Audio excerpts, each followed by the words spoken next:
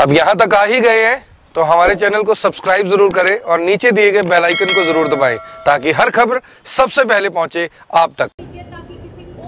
नमस्कार दोस्तों, मेरा नाम है दर्पण और आप देख रहे हैं अबिन 24 न्यूज़। दोस्तों को बता दें, इस दुनिया में सबसे पवित्र रिश्तों में पति पत्नी का रिश्ता भी माना जाता है, लेकिन ऐसे में जो आप देख, आपको बता दें कि आज एक ऐसा मामला सामने इसमें पति ने अपनी पत्नी को जो है मार दिया है, और आपको बता दें, जो मामला है यमुनानगर का बताया जा रहा है, जिसके अंदर जो है मुस्लिम परिवार की जो है एक लड़की जो है, वो बलि चढ़ जाती है, यानी उसे बताया जा रहा है कि उसे जो है उसके पति ने मार दिया, लेकिन पूरा मामला क्या है, उनके भाई हमारे साथ में है, लेकिन उनसे बात करने की कोशिश भी करेंगे और लोगों से कहेंगे इस खबर को शेयर करें। ऐसे कई मामले सामने आते हैं जिसमें पति जो है अपनी पत्नी को मार देते हैं लेकिन क्या कुछ कारण रहते हैं यही आज जो है हम यहाँ पर पता करने आए और यहाँ पर बात करते हैं उनके भाई से। क्या नाम है आपका? कहाँ रहते हो आप?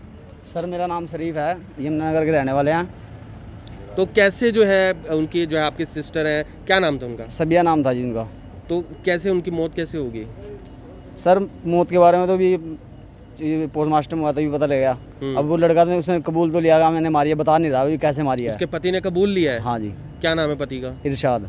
इरशाद। शादी कब हुई थी? शादी छः साल पहले हुई थी।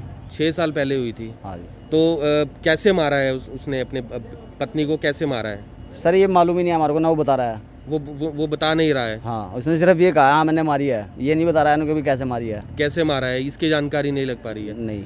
तो ये ये कैसे पता लगा कि जो है उसके पति ने ही उसे मारा है? आपको कैसे इसके बारे में जानकारी हुई? सर जो जो हमारे रहता है ना उन्होंने बताया हमारे को इसके ना शरीर पे निशान थे। हम्म। ठीक है? हमने सारा कुछ बंद कर दिया। मैंने कहा जो भी हुआ ना भाई अल्लाह में देखा है भगवान देखा है जो भी वो करें सब करें ठीक होगा। वो मानने को तैयार नहीं उसके घर को नुकसान कह रहे तुम्हारे पास क्या प्रूफ है? भाई हमारे भाई ने तुम्हारी बहन को मारा है। हम्म हम्म। अभी प्रूफ दिखाने के लिए हमने इस लड़की को दबाया था हमने इसे दोबारा कबर में निकाला फिर इसका पोस्टमार्टम कराया जी। तो कबर से दोबारा निकाला है? हाँ जी। तो पुलिस ने क्या उसे फ़िलहाल क्या अरेस्ट किया हुआ है उसे? हाँ जी हाँ जी अरेस्ट कर रखा है। हाँ कहाँ पे है पति उसका? इस टाइम वो चौंकी में है ना?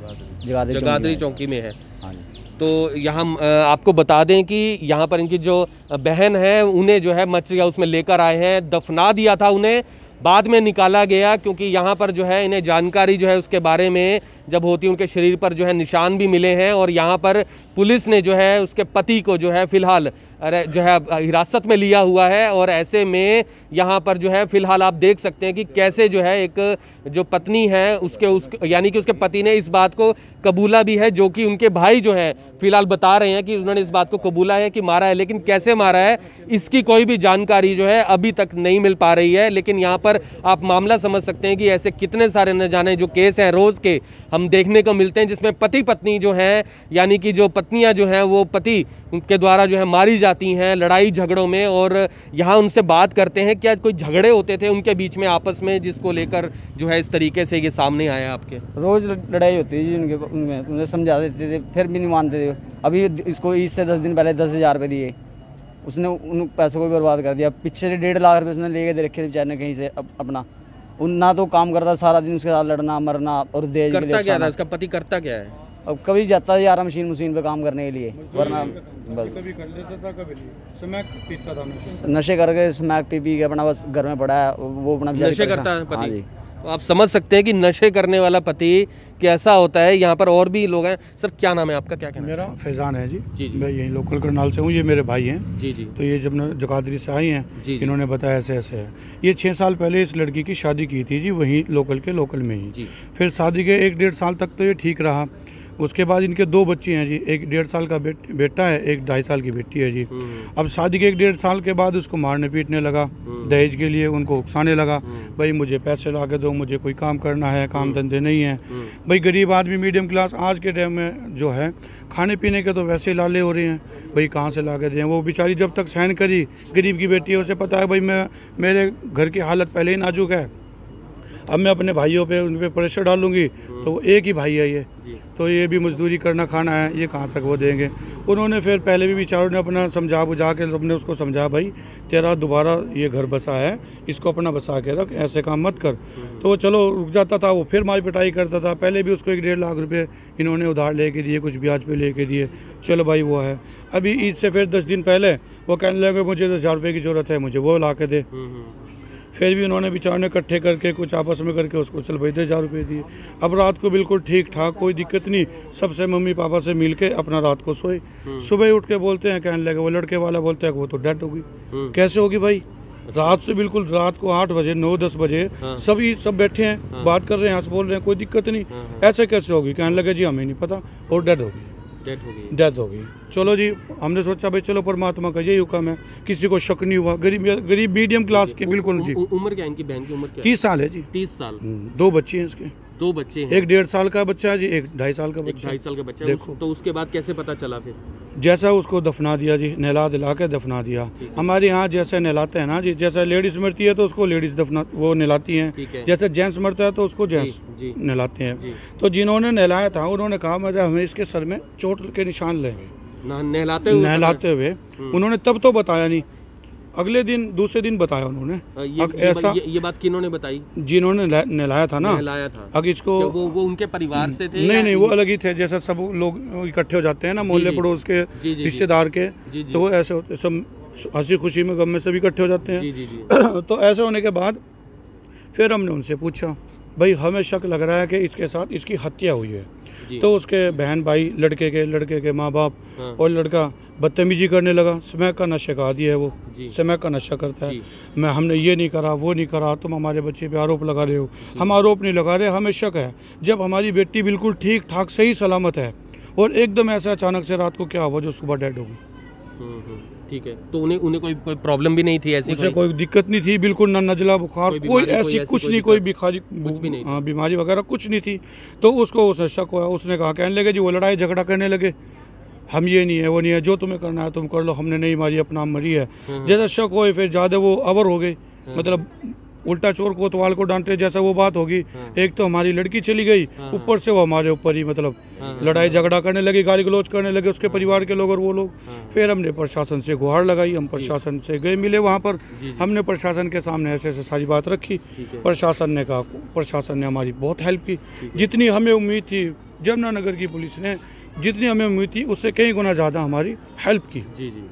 तभी उन्होंने अपनी टीम भेजी उसको निकलवाया कबूर खुदवाई। कबूर खुदवाने के बाद उसकी डेड बॉडी निकाली पोस्टमार्टम के लिए फिर जमुनानगर से उन्होंने कहा ये यहाँ पर नहीं होगा कल्पना मेडिकल चावला में होगा। फिर उन्होंने करनाल किया पुलिस की टीम यहाँ तक भी साथ थी हमारे। वो चली गई मेरे ख्याल से अभी है। तो यहाँ आए उन्होंने पोस्टमार्टम किया। अब वो रिपोर्ट तैयार होने लग रही है। गाड़ी डेड बॉडी गाड़ी के अंदर रखी है। अब वो लड़के को तो पुलिस ने अरेस्ट कर लिया। अरेस्ट करने के बाद उसको जब पुलिस ने थोड़ा सख्ताई से पूछा तो उसने ये कहा जी कहने लगा हाँ मैंने मर्डर तो किया है इसका। ये ये तो उसने कबूल लिया कि भाई उसने कबूल लिया है कि भाई मैंने मर्डर तो किया है इसका। अब वो ये नहीं बता रहा वो कैसे में क्या कभी कहता है मैं नशे में था कभी कुछ कहता है। हम्म, हम्म, हम्म। और ये ऐसा ये दहेज के लालच में है लड़की का। जो जो दहेज के ही लालच में ये मारी गई। हम नहीं चाहते किसी अब गरीब आदमी मीडियम क्लास का आदमी है साहब। आज के टाइम के अंदर महँगाई के दौर के अंदर पहले ही गरीब आदमी पता नहीं कैसे कैसे शादी ब्याह करते हैं। और हम नहीं चाहते कि भाई आने ऐसे जो जो मुजरिम है ऐसे जो मतलब बेटियों की हत्या करते हैं हमें प्रशासन से यही गुहार लगाते हैं कि उसको सख्त से सख्त उसको सज़ा दी जाए। पहले भी वो साढ़े तीन साल की सज़ा काट चुका है। पहले भी उसने अपनी बीवी का एक मर्डर कर चुका है। पहले भी कर चुका हूँ। यहाँ आपको तस्वीर जो है एक बार दिखा दें कि आप तस्वीर देख सकते हैं साहिबा की जिनके बारे में हम बात कर रहे हैं कि जिन्हें जो है उसके पति ने ये मान भी लिया है कि उसने मारा है लेकिन कैसे मारा है इसके बारे में कोई भी जो जानकारी है वो अभी तक वो नहीं दे पा रहा है और सबसे बड़ी बात है कि कब्र खुदवा कर जो है, यहाँ पर जो है जिन लोगों ने आपको बता दें, क्योंकि जब रीति रिवाज के हिसाब से जो है दफनाया जाना था तो उसके अंदर जो है महिला हो तो महिला, पुरुष हो तो पुरुष जो है नहलाते हैं। उस दौरान उन्हें यह पता चलता है, लेकिन इस बारे में जो है परिवार को बताते नहीं है, लेकिन बाद में बताते हैं कि ऐसा सिर पर चोट देखी गई। बाद में कब्र जो है वापस खुदवा कर आप समझ सकते हैं कि उसे निकाल कर फिर जब निकाला गया, तब जो है पुलिस प्रशासन से जो है अपील की गई परिवार की तरफ़ से और उसके बाद जो है पति ने ये मान लिया है कि उसने मारा है लेकिन कैसे मारा है ये अभी तक नहीं पता है। और प्रशासन से अपील करेंगे कि जो है सख्त से सख्त कार्रवाई होनी चाहिए और उसके अंदर जो है ये पता लगाना ज़रूरी है कि आखिर मारा कैसे है क्योंकि यहाँ पर सिर पर तो चोट के निशान जो थे क्या चोट के निशान थोड़े क्या क्या चोट के निशान कोई गहरे चोट के निशान थे? सिर में गहरा निशान है। गहरा निशान है। हाँ, किस चीज़ से मारा कुछ किली बड़ा हुआ है उसके जिस टाइम खोल लगा ना। कील- कील। हाँ, उसके सिर में चोट है ये नहीं कह सकते किस चीज़ की किस चीज़ की है? हाँ, यहाँ पर है यहाँ पर है गुड्डों पे और यहाँ सीन जी जी जी जी। तो यहाँ पर लोगों से पहले इस खबर को जितना हो सके शेयर ज़रूर करें और फ़िलहाल जो है ये मामला जो है अभी तक जो है अधूरा है क्योंकि जब तक ये पता नहीं चल पाता लेकिन तफ्तीश के अंदर जो है वो पता लगेगा और जो है जब पूछताछ होगी उसके पति से आ, कोई और अपील करना चाहेंगे क्या? प्रशासन ने जैसी हमारी हेल्प की है हम तो यही प्रशासन से वो करते हैं कि जो मतलब मीडियम क्लास का गरीब आदमी एक आदमी अपनी बच्ची की शादी पता नहीं कैसे कैसे करता है और बाद में उसकी दहेज के लालच में हत्या कर दी जाती है। हम यही प्रशासन से अपील करते हैं कि ऐसे दहेज के लालचियों के साथ सख्त से सख्त कार्रवाई होनी चाहिए। और लोगों से पहले इस खबर को जितना हो सके शेयर ज़रूर करें और फिर से जुड़ेंगे आई बिन ट्वेंटी के ऊपर। तब तक के लिए जय हिंद।